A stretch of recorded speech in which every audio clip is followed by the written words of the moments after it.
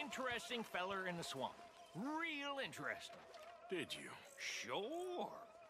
He seemed to know all about you.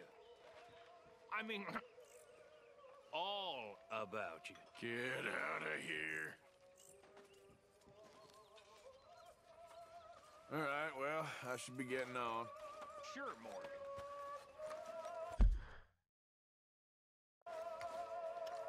Good evening, Arthur.